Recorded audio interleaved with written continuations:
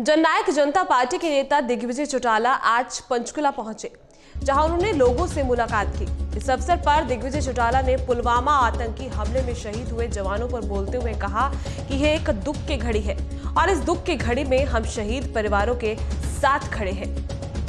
उन्होंने आतंकी हमले पर बोलते हुए कहा कि सरकार के साथ खड़े होकर एक सुर में कहना चाहते हैं कि पाकिस्तान और आतंकियों को कड़ा सबक सिखाया जाए। इसके लिए वह सरकार के साथ है। पंचकुला में आप आए हैं और कार्यकर्ताओं से मिले हैं, लोग। यहाँ पर बहुत बढ़िया मीटिंग भारी भरपूर संख्या में लोग आए जननायक जनता पार्टी का जो नया करवाना उसका समर्थन करने का मन पंचकुला ने किया है। हमने भी इनसे वादा किया है कि यहाँ जो है लोगों को पक्का घर देने की बात प्लॉट देने की बात, अच्छी सैनिटेशन पीने की व्यवस्था की बात करवाई जाए। मैंने इनको ये भी कहा है कि जननायक जनता पार्टी की सरकार जब बनेगी तो हम विकास की, यानी गति जो है, वो इन कॉलोनियों से बढ़ाने का काम करेंगे, यहाँ से आगे लेकर के जाएँगे। सबसे पहले फॉरमोस्ट ऑन प्राइम डेवलपमेंट जो है, वो कॉलोनियों की तरफ़ हम अपनी नज़र और पुलवामा जवान शहीद हुए हैं हैं। बहुत अनफॉर्चुनेट इंसिडेंट है। मैं मेरी पूरी पार्टी दुखी घड़ी में हम ही नहीं बल्कि पूरा देश शहीद परिवारों के साथ महान आत्माओं को नमन करता है। और परमपिता परमात्मा से हम उम्मीद करते हैं कि वो अपने चरणों में स्थान दें और सरकार के साथ खड़े होकर एक वाणी में कहना चाहते हैं पाकिस्तान को और इन गुनहगारों को कड़ी सजा और कड़ा सबक सिखाया जाना चाहिए। बड़े से बड़ा कदम उठाया जाना चाहिए। इसके लिए हम देश की सरकार के नवजोत सिंह सिद्धू कहीं ना कहीं अभी पाकिस्तान के फेवर में नज़र आ रहे हैं बयानबाजी कर रहे हैं किसी ये बहुत अनफॉर्चुनेट है कि अपने सीनियर लेजिस्लेटिव को और जो मिनिस्टर हो कॉन्स्टिट्यूशनल पद पर हो आज देश का जो जवान है उसको गोली लगती है उसकी शहादत होती है। और इतने मेच्योर रिस्पॉन्सिबल पॉलिटिशियन इस तरह की मेच्योर बात करते हैं और मैं समझता हूँ कि दूसरे देश के पक्ष में बोलते हैं। तो उन्हें ये अपने शब्द वापस लेने चाहिए। मेरी राय ओम प्रकाश चौटाला जी कार्यक्रम में गए थे और तबीयत बिगड़ी और अस्पताल में मुझे भी ये सूचना मिली है क्योंकि मैं चंडीगढ़ में था। दुष्यंत जी दिल्ली में है और वो मेरे सांसद से मानते कहीं ना कहीं ओम प्रकाश चौटाला जी को राजनीति से अब संन्यास लेना चाहिए काफ़ी नहीं नहीं ऐसा नहीं। संन्यास राजनीतिक आदमी कभी संन्यास नहीं लेता। चौधरी ओम प्रकाश चौटाला जी तो बहुत एक, ऐसे व्यक्तित्व हैं जिनका हौसला जो है जो है ना सारी उनकी जो मिसाल देते हैं लोग और उनसे हम सब सीखे हैं। हमने तो उनकी उंगली पकड़ कर राजनीति सीखी है। और मैं चाहता हूँ कि वो जल्द स्वस्थ हों और इस देश को इस प्रदेश को राजनीतिक दिशा दें एक बीजेपी और एनएलडी का गठबंधन की भी बात चल रही है। किस प्रकार देखते हैं? मैं समझता हूँ कि ज़ीरो प्लस ज़ीरो मैथ्स में भी और राजनीति में भी ज़ीरो ही होता है। तो ज़ीरो प्लस ज़ीरो, वो जो है ना गठबंधन, चाहे वो एलएसपी का और बीएसपी का हो, चाहे वो बीजेपी का, एनएलडी का हो, चाहे वो कांग्रेस का या किसी थर्ड फोर्स का हो, अब एक विकल्प के तौर पर जननायक जनता पार्टी उभर चुकी है। जींद की जनता इस पर प्रमाण दे चुकी है। हरियाणा प्रदेश के लोगों ने छह लाख की संख्या में जींद में पधार कर पार्टी का निर्माण किया। तो यही सबसे बड़ा एविडेंस है कि जननायक जनता पार्टी ही भविष्य जेजेपी का अलायंस हो सकता है किसी पार्टी के साथ आने। पर अलायंस राजनीति में होते हैं। क्रिकेट की अगली बॉल पे क्या हो जाए और राजनीति में अगले पल क्या हो जाए किसी का तो किसके साथ अलायंस अगर समान विचारधारा और गरीब किसान मजदूर की हिमायत करने वाला जो भी दल होगा उसके साथ हम जाएँगे। पुलवामा में आतंकी हमले में शहीद हुए जवानों की याद में इंद्री के शहीदी चौक पर एक श्रद्धांजलि सभा का आयोजन किया गया। जिसमें खाद्य आपूर्ति मंत्री कर्णदेव काम्बोज सहित राजनीतिक एवं सामाजिक संगठनों के लोगों ने भाग लिया। इस मौके पर सभी ने शहीदों के चित्र के समक्ष दीप जलाकर और पुष्प अर्पित कर नमन किया। इस अवसर पर वंदे मातरम, भारत माता की जय, शहीदों जवान अमर रहे और पाकिस्तान मुर्दाबाद के नारे लगाए गए। तो कायराना हरकत हुई है। ये तो पहले भी होते ही हैं और ये बाज नहीं आता पाकिस्तानी कायराना हरकत करता है। लेकिन आप सभी का, देशवासियों का प्रेम, मोहब्बत फौजियों के साथ है और रहेगा। तो इनका मुँह तोड़ जवाब दिया जाएगा और ऐसी हरकतों से ना तो फौज डरने वाली है और ना इनके आगे झुकने वाली है। अभी ठीक दो चार महीने में आपके सामने, देश के सामने इसका रिज़ल्ट आ जाएगा कि जो इसने ये बुजदिल, बुजदिली से काम कराया उसका अंजाम क्या होगा? ये पाकिस्तान को निश्चित तौर पे भुगतना पड़ेगा। अभी इसके लिए आर्मी, हमारे प्रधानमंत्री जी ने आर्मी को पूरा सहयोग दिया है और पूरी छूट दी है भी जैसे भी, जिस भी माहौल में, जिस भी समय पर, जैसी भी कार्रवाई, सख्त से सख्त कार्रवाई उनके खिलाफ होगी ऐसा जी, आतंकवादियों को संरक्षण पाकिस्तान देता है क्योंकि S I I S I है जो उसका, वहाँ पर उसकी कमांड चलती है। पाकिस्तान में जो पॉलिटिकल पार्टियाँ हैं, वो खाली नाम के मात्र हैं। वहाँ पर आईएसआई की कमांड चलती है और आईएसआई जो है, वो फौज को अपने हिसाब से चलाती है। वहाँ से वो जो गरीब बच्चे हैं, जो हमारे छोटे छोटे बच्चे हैं, पढ़ने वाले हैं, उनको 500 500 रुपए के लालच में देकर उनको पत्थर उनके हाथ में दे देते हैं। ये काम जो पाकिस्तान करवाता है, सब आईएसआई कराती है। उन्होंने कायराना हरकत की है कि आईडी भर के एक गाड़ी को और बीच में कानवाई के घुसा देते हैं वो लोग। अगर उस कानवाई में हम प्रिकॉशन लेते हैं, हम जे के गवर्नमेंट से अगर मांगते हैं कि भी हमारी कानवाई के टाइम में आप बीच में सिविल पॉपुलेशन को सिविल ट्रैफ़िक को बंद करिए तो उनकी टीडीपी और कुछ पार्टियाँ के बीच में वो हल्ला बोलती हैं। वो इस चीज़ को मानते नहीं जबकि आपने देखा होगा पीछे भी सरकार टीडीपी की थी सहयोगी पार्टी हमारी आपके हमारी एक पार्टी सहयोगी थी उसने इसी हरकत को लेके कि उन्होंने उनका साथ नहीं छोड़ा तो इस पार्टी ने अपना समर्थन विड्रॉ किया। बिल्कुल पूरी तरह से इस सरकार में जो ये सरकार चली है आपकी अभी पाँच साल से जो भी सरकार चल रही है इस सरकार ने सेना को बहुत ही स्वतंत्र रूप से कार्रवाई करने के लिए हुक्म दिए। जम्मू कश्मीर के पुलवामा में जो अंत की घटना हुई थी और उसमें हमारे बयालीस नौजवान शहीद हो गए हैं। उनकी आत्मिक शांति के लिए आज इस प्रकार के कार्यक्रम यहाँ रखा गया था, शहीदी चौक इंद्री के अंदर। सभी पार्टी के प्रमुख कार्यकर्ता इस कार्यक्रम में हिस्सा लेने के लिए यहाँ इस कार्यक्रम में उपस्थित हुए हैं और सभी ने उन शहीदों को नमन करते हुए पुष्पांजलि भी की है। और सभी ने अपने विचार भी रखे हैं कि हमें किस प्रकार से अपने देश की एकता और अखंडता के लिए हम सबको एकजुट होना चाहिए।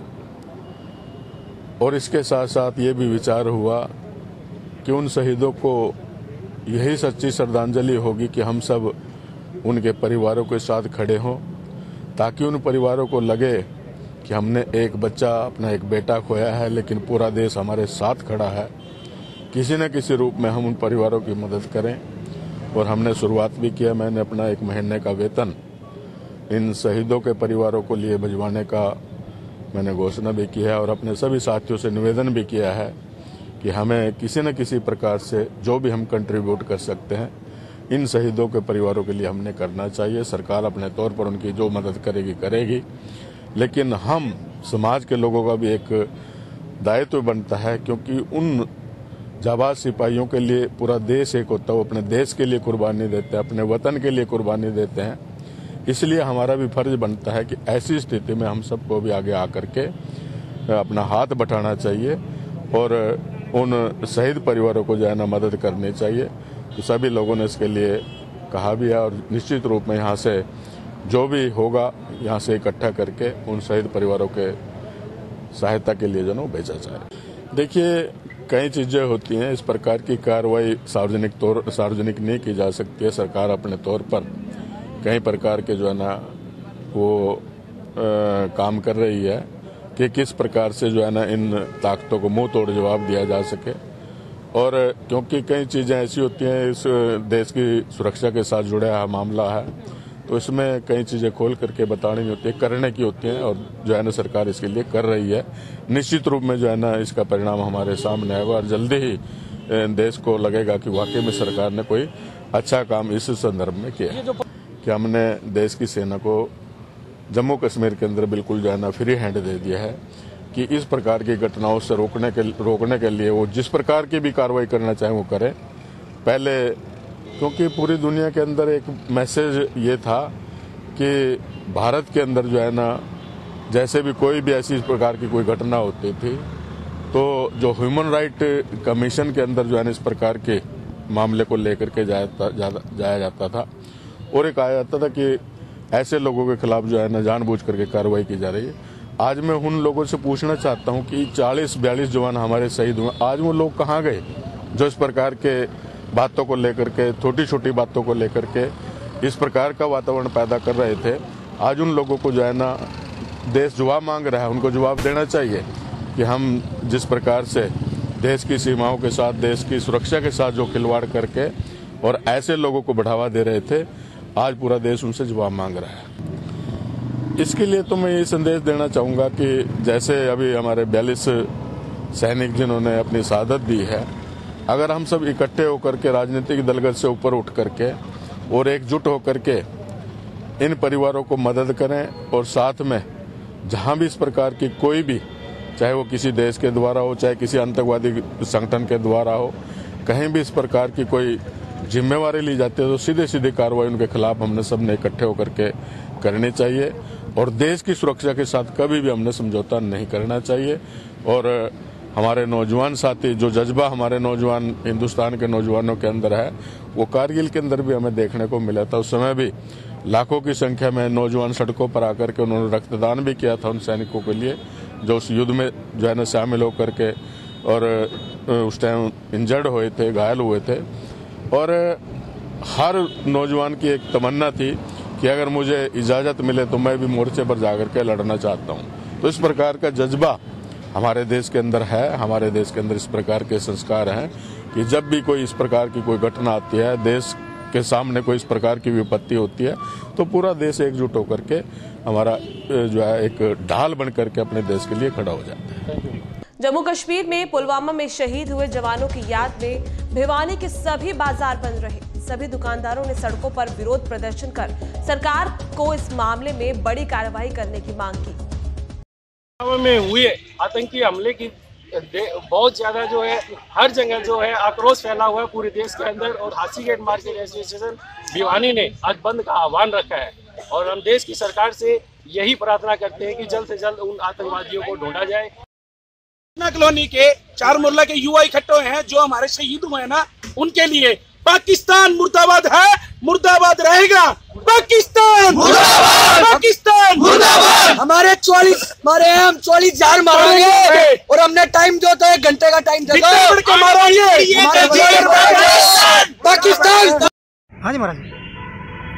पुलवामा में जो एक दर्दनाक हादसा हुआ है हमारे सीआरपीएफ के जवानों के साथ में जब कार्रवाई जा रही थी इस प्रकार के हादसे का जो शिकार हुई है हमारी सेना तो सब लोगों ने यहाँ श्रद्धांजलि दी है और पूरे देश में इस बात का रोष है, पूरा दर्द है लोगों के दिल में, ताकि हमारे सैनिकों के साथ में, हमारी सेना के साथ में जो भी कुछ इस प्रकार से हो रहा है।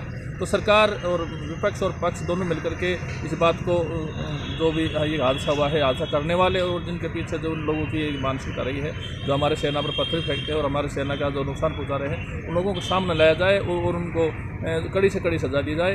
और इस प्रकार की ये पूरा समाज ये चाहता है और सरकार भी इसमें मानता हूँ, सरकार भी पूरी इसमें मुस्तैद है इसका और कुछ न कुछ परमात्मा की कृपा से एक अच्छा निर्णय आएगा और हमें जो हमारे दिल में दर्द है, लोगों के दिल में दर्द है, उसको भी कुछ न कुछ राहत मिलेगी। आज पूरा देश सैनिकों की शहादत पर आक्रोश व्यक्त कर रहा है और भारत के प्रधानमंत्री से बदला मांग रहा है। पुलवामा में हुए आतंकी हमले में 42 जवानों की शहादत से हर तरफ़ गम और गुस्से का माहौल है। जो हमारे सैनिक शहीद हुए हैं इसमें हम लोगों का आक्रोश है। चौवालीस लोगों की शहादत के बदले हमको चौवालीस हज़ार लोगों की पाकिस्तानी सैनिकों की शहादत चाहिए। और अब हम चाहते हैं कि हमारी सेना कश्मीर में ना रहे लाहौर में चाहिए सेना हमारी। मान में ये जुलूस निकाला गया है और नगर भ्रमण करके एक आक्रोश विरोधी देश के खिलाफ एक आक्रोश जो है ये सड़कों पर आप लोगों को दिखाई दे रहा है। हमारे वीर जय, वीर जवान सैनिक शहीद हुए हैं। उन लोगों के आत्मा की शांति के लिए हम लोगों ने जुलूस निकाला है और ये प्रदर्शन विरोधी देश के पुलवामा श्रीनगर में जो हमारे सैनिक शहीद हुए हैं, उसके मतलब विरोध में जो है और ये वासी की पूरी जनता क्या पूरा देश एकदम से अकबूला हो गया है?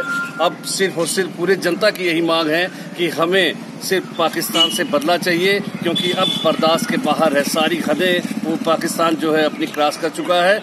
अब बर्दाश्त नहीं है। अब पूरा हिंदुस्तान भारत के सैनिकों के साथ है और एक साथ मिलकर हम सब पाकिस्तान का विरोध यूपी के जिला पीलीभीत में समाजवादी पार्टी के कार्यकर्ताओं ने पुलवामा में शहीद हुए जवानों को श्रद्धांजलि देते हुए बड़ी संख्या में एकत्र होकर कैंडल मार्च निकाला। यह कैंडल मार्च नावल्टी, टाकिस चौराहे से होकर मेन बाज़ार के रास्ते होते हुए दामोदर पार्क गैस चौराहे पर समाप्त हुआ। जहाँ सभी कार्यकर्ताओं ने दो मिनट का मौन रखते हुए श्रद्धांजलि अर्पित की। देखिए जिस तरह से ये जो पुलवामा की घटना हुई है, बहुत ही बेहद ऐसी घटना है ये जिसकी जितनी निंदा की जाए, उतनी कम है।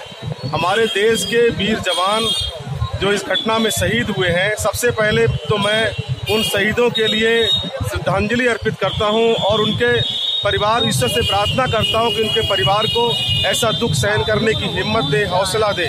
और आज पूरा देश उन शहीद परिवारों के साथ खड़ा है। लेकिन मैं एक बात और कहना चाहता हूँ कि आज जिस तरह से ये घटना हुई है, ये घटना कहीं बॉर्डर पर जंग के दौरान शहीद, हमारे जवान शहीद नहीं हुए हैं। जंग के दौरान की घटना ये नहीं है।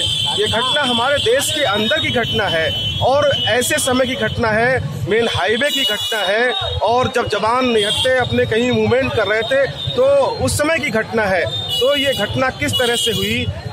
इस घटना को किस तरह से अंजाम दिया गया है?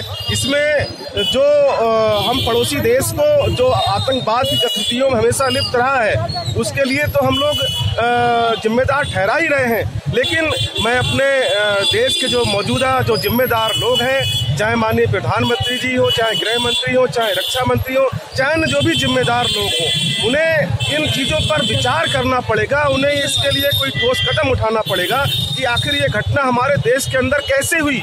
ये भी बहुत बेहद चिंता का विषय है, बहुत ही चिंतनीय विषय है। इस पर हमें विचार विमर्श करके और सरकार को जो जिम्मेदार लोग हैं, उन्हें ठोस कदम उठाना पड़ेगा, क्योंकि ये घटना हमारे देश के अंदर की है। देश में कैसे आतंकवादी आए और कैसे उन्होंने इतनी बड़ी घटना को अंजाम दिया। आज कहीं पर रोड पर चलते हुए हाईवे पर जब हमारे जवान सुरक्षित नहीं है तो कहीं ना कहीं बेहद चिंतनीय बात है। इस पर जिम्मेदार लोगों को ज़रूर संज्ञान लेके और कोई ठोस कार्रवाई करनी चाहिए। सिर्फ़ पाकिस्तान को, सिर्फ़ पाकिस्तान को गाली देने से काम नहीं चलेगा। हमें उन सारी चीज़ों को देखना पड़ेगा, चाहे पाकिस्तान हो, चाहे हमारे देश के अंदर जिस तरह से घटना हुई है, जो भी जिम्मेदार लोग हैं, उस पर उसके लिए हमें ठोस कदम उठाने पड़ेंगे। और आज हम इस दुख की घड़ी में हम सब उन परिवारों के साथ खड़े जम्मू कश्मीर के पुलवामा में हुए आतंकवादी घटना के विरोध में बिजनौर में विश्व हिंदू परिषद के कार्यकर्ताओं ने पाकिस्तान का पुतला फूका। बिजनौर के शास्त्री चौक पर आज सैकड़ों विश्व हिंदू परिषद के कार्यकर्ता सड़कों पर निकले और उन्होंने पाकिस्तान मुर्दाबाद के नारे जमकर लगाए। विश्व हिंदू परिषद के कार्यकर्ताओं का कहना था कि पाकिस्तान हमारे देश में आतंकी घटनाओं को अंजाम दे रहा है। उसने सीआरपीएफ के 44 जवानों को मौत के घाट उतारा है।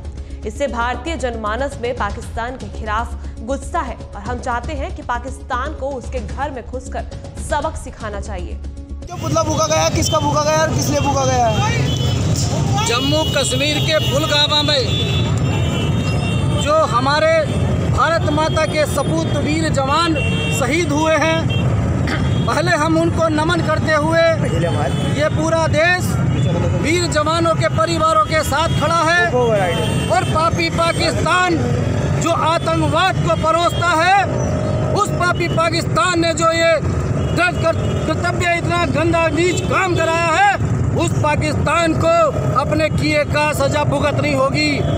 पाकिस्तान को न केवल उसके घर में घुस के मारेंगे बल्कि पाकिस्तान के अंदर मारेंगे। चालीस हज़ार मारेंगे। जैसा पूरी हमले के दौरान हमने पाकिस्तान में घुस के मारा था उससे भी बुरा हाल पाकिस्तान का होने वाला है। और पाकिस्तान समझ ले अगर वो अपनी हरकतों से बाज नहीं आता तो हिंदुस्तान पाकिस्तान का नाम दुनिया के नक्शे से ही मिटा देगा। ये भारतीय जनता पार्टी है, ये नरेंद्र मोदी है। नरेंद्र मोदी ने भी पिछले सर्जिकल स्ट्राइक से भी करके दिखाया था और आज भी पाकिस्तान को ऐसा सबक सिखाएँगे कि पाकिस्तान की आने वाली पुस्तें सात जन्मों तक ध्यान रखेंगी। धन्यवाद। यूपी के बिजनौर में उस वक्त सनसनी फैल गई, जब एक युवक का शव नाले में मिला। मौके पर पहुँची पुलिस ने शव को कब्जे में लेकर पोस्टमार्टम के लिए भेज दिया है। नाले में पड़ी ये लाश अशोक कुमार नाम के शख्स की है, जिसकी पहचान देहरादून निवासी के रूप में हुई है। गौरतलब है कि आज कब्रिस्तान के नाले में युवक की तैरती हुई लाश मिलने के बाद राहगीरों ने पुलिस को सूचना दी। मौके पर पहुँची पुलिस ने शव को कब्जे में लेकर जाँच पड़ताल शुरू कर दी है। धामपुर में के एम इंटर कॉलेज के सामने जो कब्रिस्तान है, उसके बगल में एक नाला है। वहाँ एक डेड बॉडी मिली है। उसको बाहर निकलवाया गया है। और उसकी जो पर्स है, उसमें से उसकी एक आईडी मिली है। भारत निर्वाचन आयोग का मतदाता पहचान पत्र मिला है।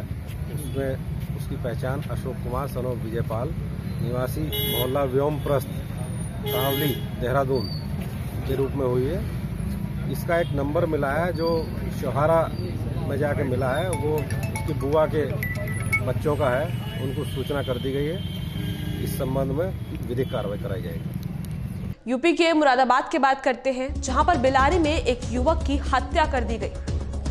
हत्या की वारदात के बाद इलाके में सनसनी फैल गई। वहीं सूचना पर पहुँची पुलिस ने मामला दर्ज कर जाँच शुरू कर दी है। तो क्या घटना हुई थी? मसला क्या बताओ? मुझे तुम ये हमारे सामने मतलब घर पे आ। और वो मतलब वहाँ से आ रहा बाज़ार से सिपनी कौन? शानबाज शाहनवाज कौन है आपका? लड़का छोटा वाला। अच्छा छोटा लड़का। क्या काम करता है वही करता अभी फेरी वेरी का काम रिक्शा वाला। अच्छा ये जो मामला है गोली लगने का कौन लोग हैं इसमें? ये तो उसके निचले वाले जो है हमारा लड़का। उसके ससुराल ही हैं वो सिपनी के हैं वो ससुराल उसकी। अच्छा, उसका क्या नाम है मिर्जे भाई लड़के का? सरताज। जिसके ससुराली हैं हाँ? कहाँ के? है? सिपनी के हैं। उनसे क्या मामला है? कल्याणपुर के रहने वाले सिपनी में रह रहे हैं अच्छा कोई रंजी है पुरानी? ना ना मुकदमे चल रही है उससे वो दहेज प्रताप मुकदमा लगा दिया और बहू ने बस बहू अच्छा उनकी उनकी लड़की है वो? हाँ उनकी लड़की है। अच्छा वो दहेज का मामला चल रहा है ये? हाँ बस। तो आप क्या करा था क्या क्या हुआ था फिर लड़के के साथ आपके? आपके लड़के के साथ क्या हुआ? तो गोली लगी तुम्हारे सामने सब।